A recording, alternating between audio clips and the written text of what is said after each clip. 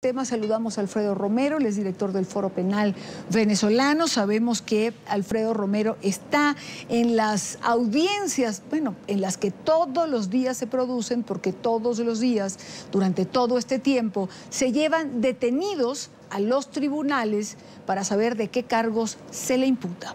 Alfredo, muy buenas tardes. Eh, gracias por acompañarnos. ¿Cuál es el balance después de 50 días? Eh, de los estudiantes y venezolanos en la calle que hace el Foro Penal, por ejemplo. Buena tarde. Sí, buenas tardes, eh, Idania. Pues muchas gracias por la llamada. Bueno, el balance eh, es realmente crítico en lo que respecta a las detenciones que han venido sucediendo en el país ya al día de hoy, porque nos falta actualizar pues incluso nuestras cifras en la página web del Foro Penal. Al día de hoy hemos pasado las 2.300 eh, detenciones eh, en todo el país, de las cuales el 80% aproximadamente son estudiantes. Ahí en este momento me encuentro precisamente en el Palacio de Justicia de Caracas, donde se encuentran seis muchachos estudiantes presentándose y 11 más que no se han presentado todavía, que se encuentran en los calabozos acá del Palacio de Justicia. Eh, los 11 fueron detenidos en la urbanización El Cafetal por unas protestas que se han venido desarrollando, sobre todo en el día, el fin de semana, donde hubo pues una arremetida importante por parte de la Policía Nacional Bolivariana. Eh, encontramos pues que se, sigue pues eh, luchando, por decir así, desde el punto de vista del gobierno contra los manifestantes.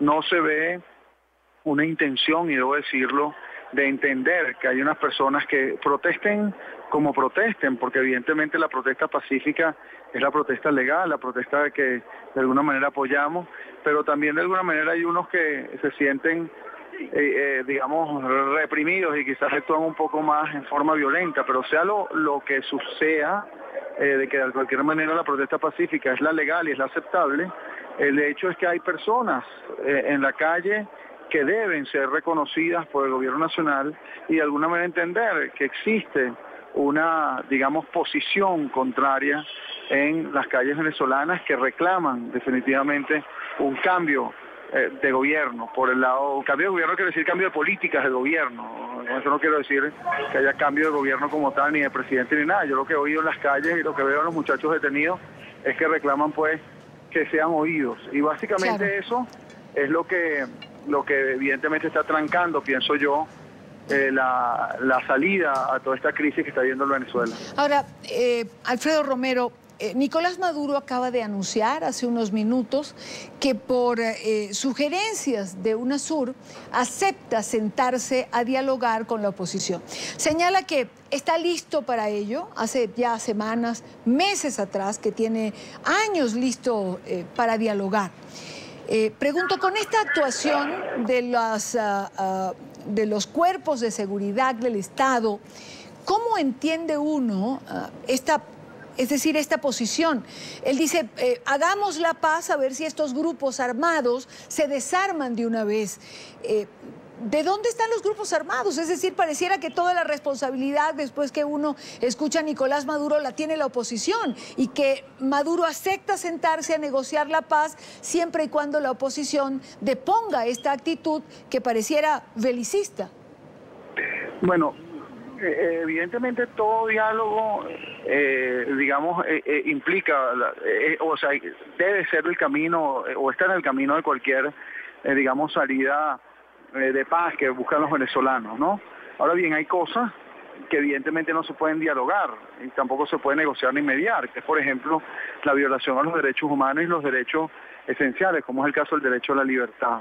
A mí lo que me cuesta un poco entender, digamos, y no eso no quiere decir que uno apoye a una persona o o a otra, pero yo no entiendo cómo se puede dialogar, por ejemplo, con personas presas.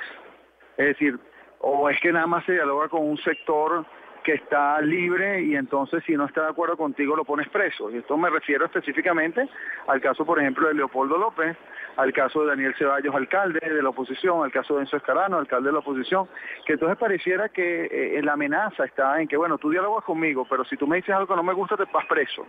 Tú dialogas conmigo, pero si dentro, del diálogo hay una manifestación pacífica que de alguna manera me afecta, entonces vas detenido.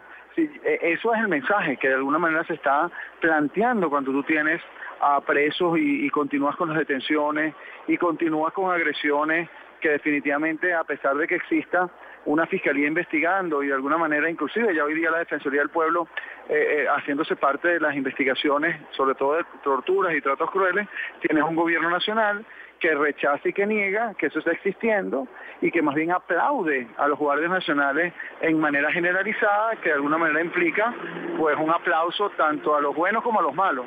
Entonces, si tú no reconoces, evidentemente, situaciones que eh, los venezolanos sufren, como, como es la violación de los derechos humanos en este caso, como es la, escasez en otros, como es la criminalidad en otros, pues nunca se va a poder eh, abrir una posibilidad de diálogo realmente eh, creíble para todos los sectores.